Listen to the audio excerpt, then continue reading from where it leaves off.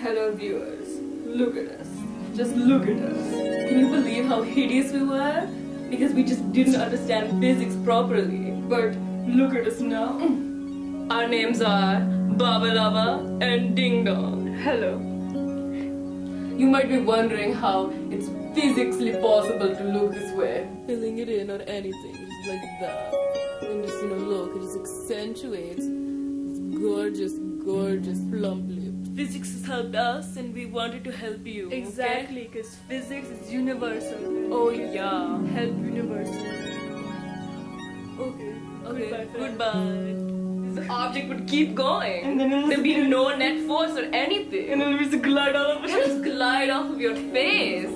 It's just horrible. So, you know, you have to apply that. Sorry, I had to throw up for a second.